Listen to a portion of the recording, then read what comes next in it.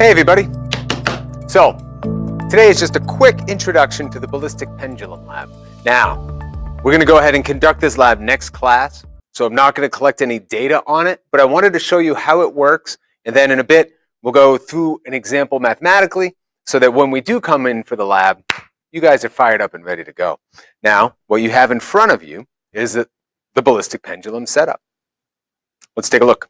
So I have my ballistic launcher right here, and this time, instead of using the yellow spheres with less mass, we're instead going to use this steel ball bearing. We can find its mass easily using our electronic balancing class. Now I'm going to take that ball, and I'm going to place it in the front of the launcher, and I'm going to move my pendulum out of the way. I think I'll just hold it with my other hand. And when I push that in, I go three clicks and I make sure it's sitting. And then my pendulum is going to be sitting flush like that. Now, when I pull the trigger, the ball is going to have a velocity as it enters into the ballistic pendulum. Now, I'd like to take a quick close-up of this it, what you should notice, hopefully, is that that pendulum is full of styrofoam.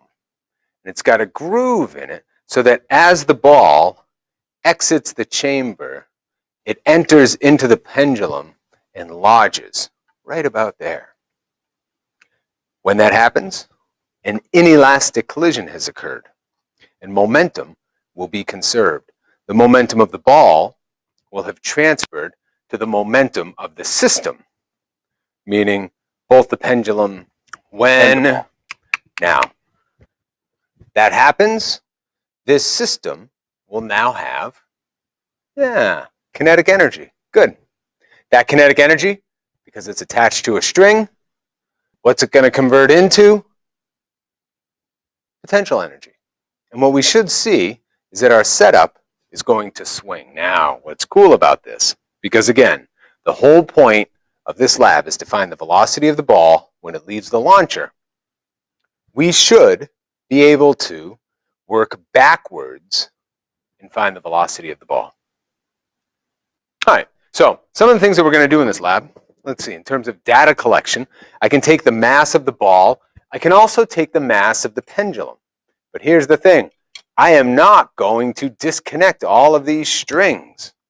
That's the classic mistake that adds 20 minutes to your lab. You can easily take that and just rest it upon the scale. Look at that. So easy. You disconnect the strings, eh, not so easy. So that's the first thing I wanted to get out of the way. And the second thing is to show you what we're going to measure. So we're going to measure the length of those strings. Where did that meter stick go? No. Thanks, Mr. Kuroda. I can take that and I'm going to measure from the pivot point down here up to the top right where uh, right there, and measure that length. That is going to be the length of the string. Once it has moved and swung out sideways, that length of the string, oh, yeah, it's the same string, so it's the same length. Obvious. Thank you, Mr. Kuroda.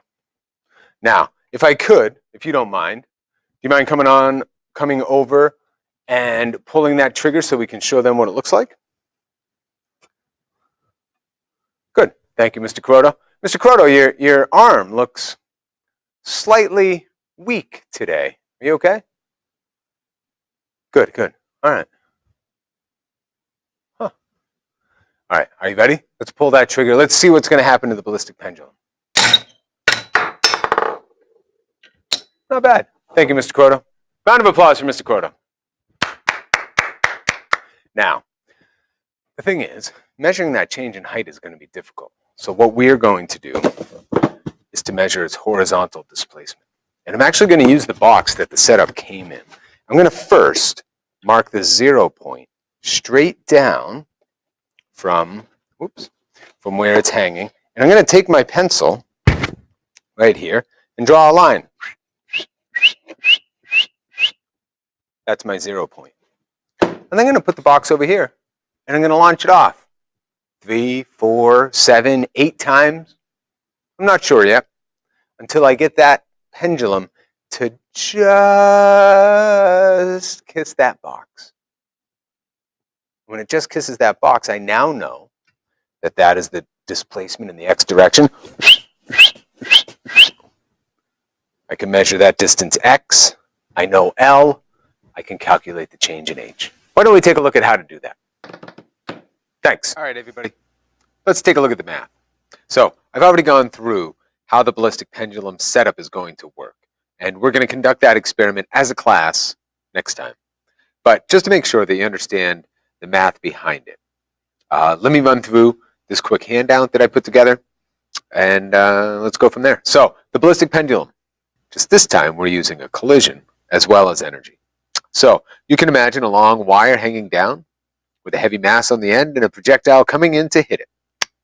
Now, when the projectile collides with the block, if it sticks, an inelastic collision occurs. That is what is going to happen with the ballistic launcher. Now, what's beautiful about that is that we really have two sets of problems here. Our first thing that occurs is we have a collision. And using conservation of momentum, I can come up with a formula. Now, when I do that, I do not know the final velocity of the pendulum ball system, and I don't know the velocity of the ball to begin with. So I do have two unknowns. Fortunately for us, there's another part to this. After the collision, we can utilize conservation of energy to recognize, oh, this is like a physics Venn diagram. Do you see it? We can use conservation of energy because at the bottom, that system is going to be all in the form of kinetic energy and then it's going to swing up, that's going to convert all into potential energy. The potential energy we should be able to measure. So let's take a look at how that works mathematically. Well, I'm going to come up with two different sides, two different equations for the different sides of this problem. I have my conservation of momentum in an inelastic collision on the left and utilizing conservation of energy on the right. Now, what can sometimes be confusing is which v is which. Right here is going to be the initial velocity of the projectile. That is the goal. That's what we're trying to find. This final velocity is going to be the final velocity after the collision. Now, in my conservation of energy side, I am solving for this velocity here, which is from the kinetic energy at the bottom of the swing. That velocity right there is the final velocity after the collision. I can see it would be much clearer if I put a small f right here, and that velocity is the velocity after the collision. So if I can measure delta h, I can find the velocity after the collision. If I can find the velocity after the collision, I can work all the way back to the beginning and find the velocity of the projectile.